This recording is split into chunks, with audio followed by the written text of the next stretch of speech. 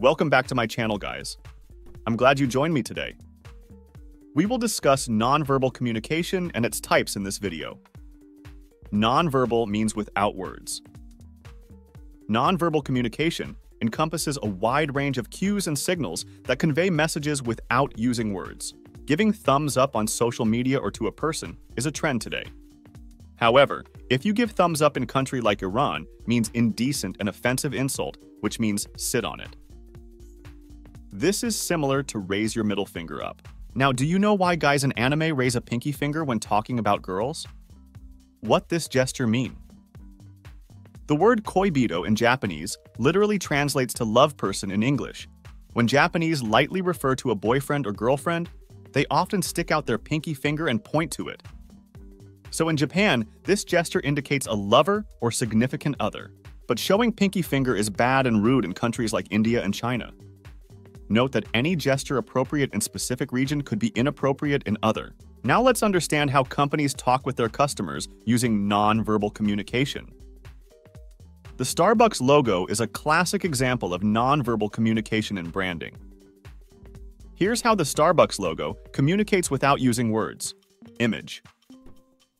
The Starbucks logo consists of a green, twin-tailed mermaid or siren encircled in a green ring with the word Starbucks Coffee in a stylized font. The non-verbal elements of the logo include Color. The use of a distinctive green color is associated with growth, freshness, and the natural world. It conveys the idea of high-quality, fresh coffee. Next, we have mermaid or siren. The image of the mermaid or siren represents allure and a sense of adventure, aligning with the idea of exploring various coffee flavors. Crown. The crown on the mermaid's head symbolizes authority and luxury, suggesting that Starbucks offers premium coffee. Next in the row is circle design. The circular shape of the logo conveys a sense of completeness and unity, suggesting the idea of community and coming together over coffee. Through these non-verbal elements, the Starbucks logo effectively communicates its brand values of providing high-quality, inviting, and community-oriented coffee experiences without the need for words.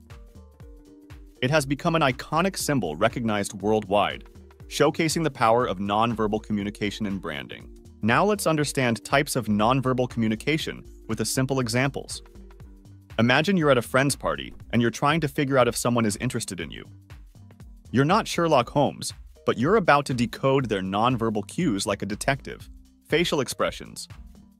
As you chat, you notice their smile is genuine and reaches their eyes, indicating they're happy to talk to you. Gestures.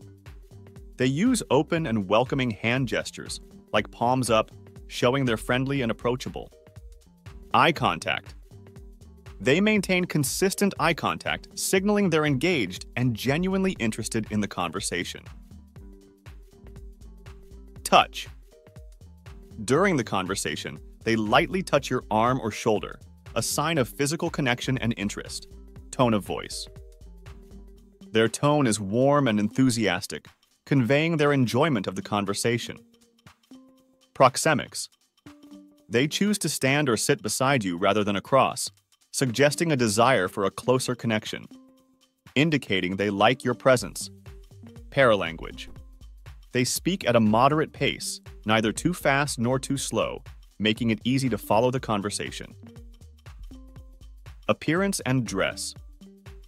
They've dressed well for the occasion, indicating they put thought into their appearance and want to make a good impression. Artifacts. You notice they wear a necklace with a pendant shaped like a heart, possibly hinting at their romantic interests. Silence. There are comfortable pauses in the conversation, allowing both of you to absorb what's being said without any rush. Smell. They smell pleasant, perhaps due to a subtle but inviting perfume or cologne. In this example, you've effectively deciphered their nonverbal communication cues, which collectively indicate their interest and attraction. Nonverbal communication plays a significant role in understanding people's intentions and feelings, often speaking louder than words in social situations. Now let's dive into a world of different types of nonverbal communication, along with examples for each in detail.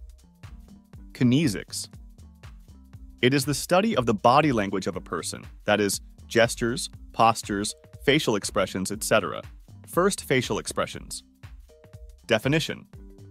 Facial expressions convey emotions, attitudes, and reactions through muscle movements in the face. Example. Smiling indicates happiness, while raised eyebrows might signal surprise or curiosity. Second gestures. Definition. Gestures involve hand movements, body postures, or facial expressions to convey meaning. Example. Waving hello or giving a thumbs up gesture for approval. Third body language. Definition. Body language encompasses nonverbal cues expressed through physical movements, gestures, facial expressions, and postures to convey messages, emotions, thoughts, or attitudes without using words. Example Mirroring technique subconsciously imitating another person's body language to establish rapport. As people like those who are similar or equal to them. Fourth eye contact. Definition the use of eye contact in communication to convey interest, attention, or emotions. Example Maintaining eye contact during a conversation demonstrates engagement and respect. Fifth appearance and dress. Definition How individuals present themselves through clothing and grooming. Example Wearing a suit and tie communicates professionalism, while casual attire suggests informality. Next, we have touch. Definition Physical contact, such as handshakes, hugs, or pats, to express emotions or establish rapport. Example a warm hug signifies affection, while a firm handshake can indicate professionalism. Now let's talk about the power of touch. 1997.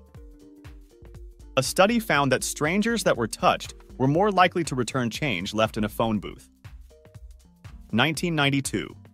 A study found that food servers who used touch received larger tips.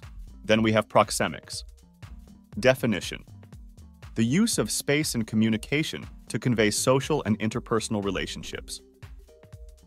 Example Sitting across from someone can denote formality, while sitting beside them can indicate familiarity.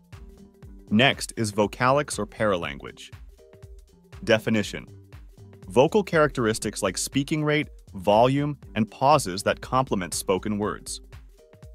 Example Fast speech may convey excitement, while long pauses can suggest uncertainty. Another type is artifacts. Definition Objects and symbols individuals carry or display to express identity or affiliations. In simple words, the appearance of a person speaks about his personality, that is by way of clothing, carrying jewelry, lifestyle, etc. This kind of communication is known as artifactual communication. Example Wearing a religious symbol like a cross necklace signifies faith. Next is silence. Definition The absence of speech, which can carry meaning or create space for thought. Example A moment of silence during a memorial service shows respect and reflection. Another type in the row is smell. Definition Scents and odors that can evoke emotions and associations. Example The smell of freshly baked bread in a bakery creates a welcoming atmosphere. Last but not the least, we have chronemics or time. Chronemics is a discipline concerned with the study of a person's use of time. Chronemics can help us understand how people perceive and structure time in their conversations and interpersonal relationships. Communication, by its very definition as a process, indicates that it is a time-bound activity. Time serves as a basic organizing concept for social interaction in a variety of ways. The structure of time itself may communicate messages about proximity and immediacy. To conclude, proxemics, which deals with the use of space in communication. Space is divided into four categories intimate, personal, social, and public. There are many factors that define the use of space age, gender, cultural and ethical backgrounds, personality, physical characteristics, attitudes, emotions of people, interpersonal dynamics. Oculesics, which is concerned with eye contact and behavior. Haptics involves the use of touch. Vocalic is concerned with the tonal quality of the voice. Kinesics, which has to do with body movements. These notes and examples illustrate how various forms of nonverbal communication are crucial in conveying messages, emotions, and intentions in both personal and professional interactions. Thanks for watching, guys. If you liked this video, give it a thumbs up. It will boost my motivation. Don't forget to subscribe my channel. Do share this video with your friends. Let's meet again in related videos.